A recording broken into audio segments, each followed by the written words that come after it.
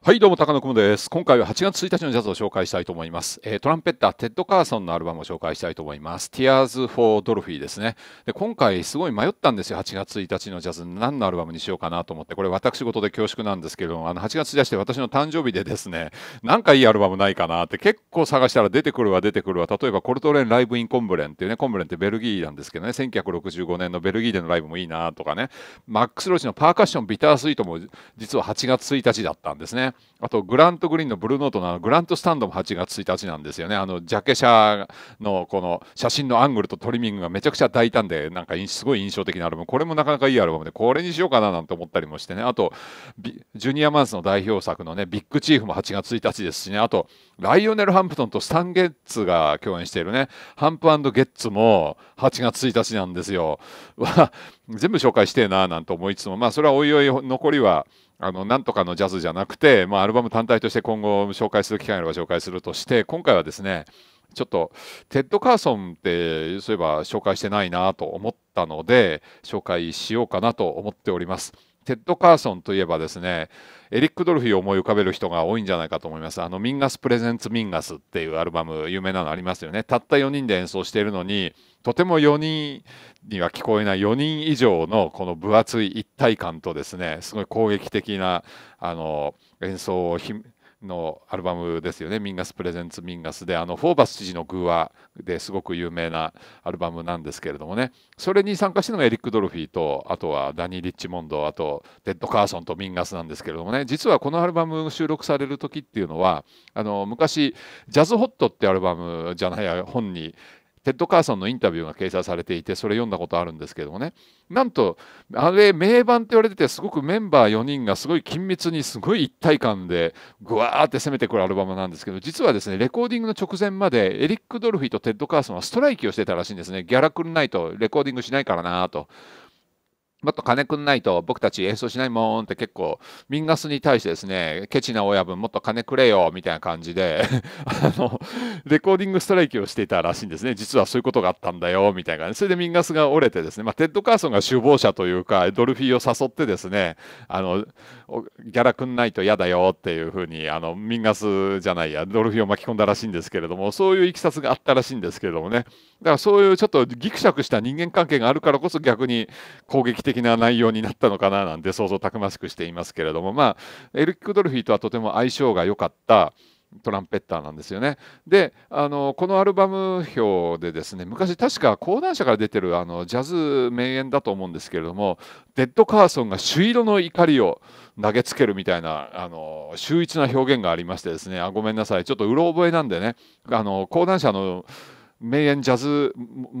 名演モダンジャズってアルバムじゃないや本じゃなかったのかもしれませんけれどもあと朱色の怒りを投げつけるじゃない動詞違ったかあれだったかもしれませんけれどもとにかく朱色の怒りって朱色ってうまい表現するなこのレビュー書いた人ってすごく感心した記憶があるんですよ。うなりましたね朱色。まさにもうその時から私はもうテッド・カーソンのトランペットの音色は朱色とインプットされましたね。もう聞けば聞くほどテッド・カーソンのトランペットって朱色じゃないですか。ブッカー・リトルが青だとすると朱色ですねテッド・カーソンのあのトランペットがですね。なんて思ったりとかしてですね。それで聞くとやっぱりこのアルバムも朱色なんですね。アルバム名は、えー、ドルフィーに捧げる涙。Tears for Dolphy ってアルバムでこれブラックライオンレーベルから出てるアルバムなんですけどもね。なんとドルフィーが亡くなってすぐにレコーディングしてるんですよね。まあ、すぐにってあの1日後とか2日後とかじゃないんですけどね。約1ヶ月後にはもう録音していると。これ1964年8月1日に録音してるんですけどドルフィーがねベルリンで亡くなったのが1964年の6月29日なんですね。ほとんど7月。だからちょうど1ヶ月ちょっと数日後にもうこれ録音してるんですね。それで Tears for Dolphy っていう曲がですね、アルバムのへそに入っているんですけれども、まあそういう曲を作曲して用意したんでしょうね。で、本当にドルフィーの死がテッド・カーソンにとってはこう悲しみというかショックだったんでしょうね。もう曲を作らずにはいられなかったっていう感じがします。それで、えー、これは実はピアノ入っていない編成なんですよね。ピアノレスの編成でトランペットとサックスがあのメインフロントを張ってますね。あとはベースとドラムという編成なんでまあミンガスプレゼンツミンガスと似たような編成なんですけどもね。でテッド・カーソンがトランペットとあとポケットトランペットを吹いてますね。でビル・バロンがですねテナーサックスあと曲によってはクラリネットを吹いています。でアーブ・ブッシュラーっていうですねエレキベースも弾くあのすごくセンスのいいベーシストがこのウッドベースを弾いてますね。ほんとツボを押さえたピアノであピアノじゃベースでですね。あの決して音数が多いわけじゃなくて例えばペデルセンみたいニールス・ペデルセンとかねミロスラフ・ビトースみたいなバラバラバラって音をまき散らすように弾くタイプじゃないんですよね。だけどなんかこの人がベースで少し意味ありげなフレーズを弾くとなんかものすごく深い意味ありげのあるようなベースに聞こえてしまうので不思議ですよね。なかなかねこのアーブ・ブッシュラーってまあハーブって書くんですけどアーブ・ブッシュラーって読むみたいですけどもね。アーブ・ブッシュラーのベースいいですよ。すごく音色もいいんですね。このモクモクっとした感じモクモク。決してクリアーでブライトな音色じゃないんですね。むしろモコモコっていう感じの本当もくもくした音がもくもくもくもくと弾いてるって感じなんですけれどもねあ木の音だなってもくっとした音だなって本当に思いますよねだからもしテッド・カーソンとかあとちょっとねフロントのビル・バロンのサックスとかにちょっと馴染めないようであればベースに耳を緊急退避させるとベースの動きだけ追っかけるだけでも面白いアルバムだと思いますよ。あとはディック・バークがドラムスですね。なかなかねこの4人でちょっとねあの好み分かれると思うんですよね。やっぱりピアノが入っていなかったりするのでピアノのない編成だと本当にむき出しの演奏みたいのを聞くようなニュアンスになってしまうのでちょっとリラックスで聴けないかなっていう感じもする人もいらっしゃると思うんですね。で私自身どうなのかというとですねこのやっぱりメインのねタイトル曲とかもなっている「Tears for Dolphy」これはですねいい曲なんですけれども例えばですけどマル・ウォルドロンのようなタイプのピアニストが参加してたらもっと叙情的でいい曲になったんじゃないかなって気はするんですよね。まあないならないですごくいいですしベースがねアーブ・ブッシュラーのベースが面白い動きをしているので、まあ、決してあのトリッキーな動きじゃないんですよ。非常にあの根っこの部分支えるような感じなんですけど時々こう意味ありげな動きをするところがですねなんかすごく興味深いベースラインだなと思ってまあ聞いてて退屈はしないんですけれども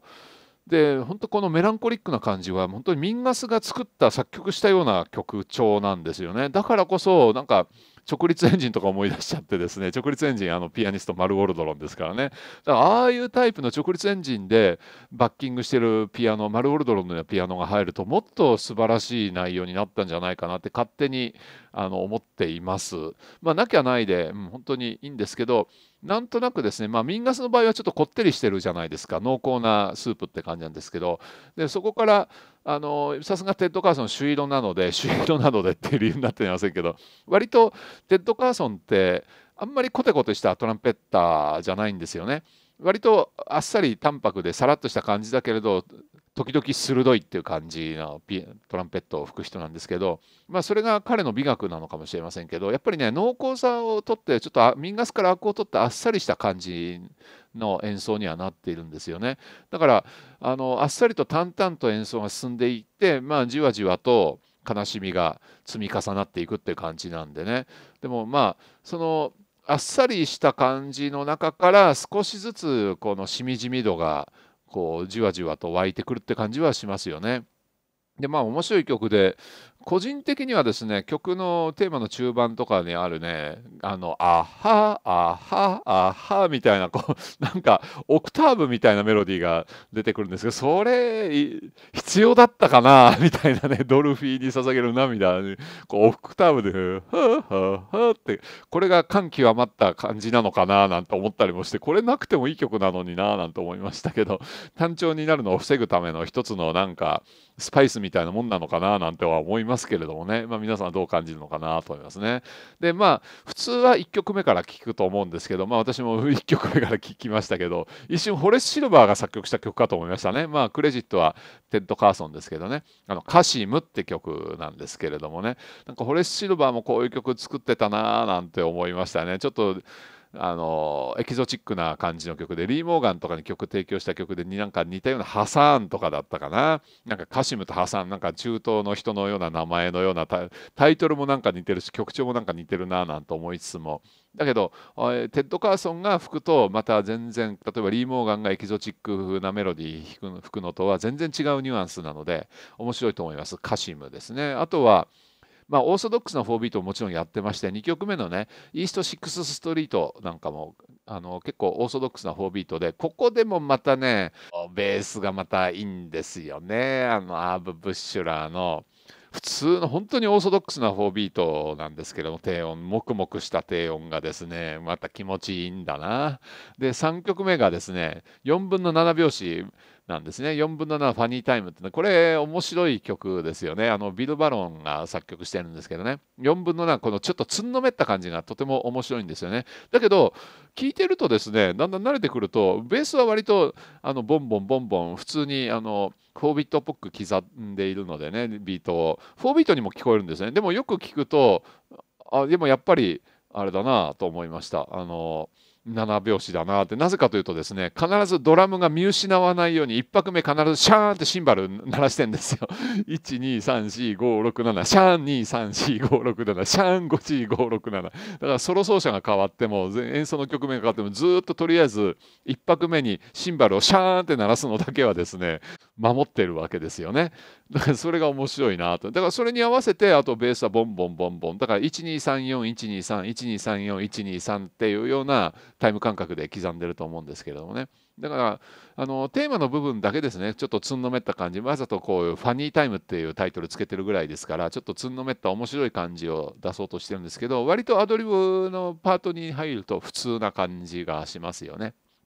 ちょっとスリルがあるような感じ。ただ、あの、1234567、シャン23456シャン4567みたいな、そういうあの、シンバルがもう規則的にですね、同じ拍のところを刻むので、ちょっと単調な感じには感じますけれどもね。あとはまあ、あのクイックサンドって次の曲とかもね、これテッド・カーソンの曲作曲の曲なんですけどなかなかこれもいいですね。あのこれはですね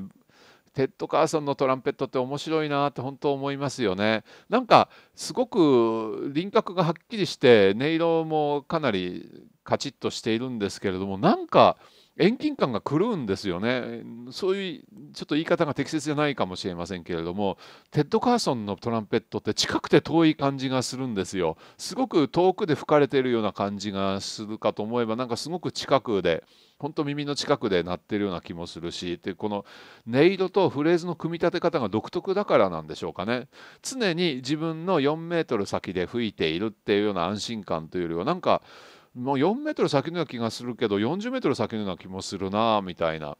何かすごく幻を聞いてるような、ま、あのトランペットの主が幻のような感じもしつつすごく本当ソリッドで実体化したような感じもしているというなんかまだまだですねテッド・カーソンも私あんまりアルバム持ってないのであんまりあの深いことというか考察まだできてないんですけれどもこれからちょっと研究課題になるトランペッターかなとは思ってますね。なかなかユニークなトランペット奏者だと思います。テッド・カーソンっていう人は。